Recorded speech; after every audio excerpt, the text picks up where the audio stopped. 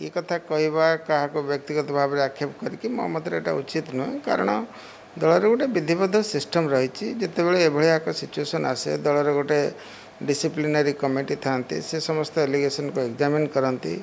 ଏବଂ ଏକ୍ଜାମିନ୍ କରିବା ପରେ ହଣ୍ଡ୍ରେଡ଼ ପରସେଣ୍ଟ ସିଓର ହେଲା ପରେ ଯାଇକି ଦଳରେ ଏଭଳିଆ ଏକ ଶୃଙ୍ଖଳାଗତ କାର୍ଯ୍ୟାନୁଷ୍ଠାନ ହୁଏ ଏଇ ହେଉଛି ଦଳର ବିଧି ବ୍ୟବସ୍ଥା କଥା କିଛି ନୂଆ କଥା ନୁହେଁ ଦଳ ଯେବେଠୁ ଆରମ୍ଭ ହୋଇଛି ଆଜି ପର୍ଯ୍ୟନ୍ତ ପ୍ରତ୍ୟେକ କ୍ଷେତ୍ରରେ ଏହି ପଦ୍ଧତି ଗ୍ରହଣ କରାଯାଇଛି ଦେଖନ୍ତୁ ଜିଲ୍ଲା ସଭାପତି ହିସାବରେ ମୁଁ କାର୍ଯ୍ୟ କରିଆସିଛି ଏବଂ କରୁଛି ମଧ୍ୟ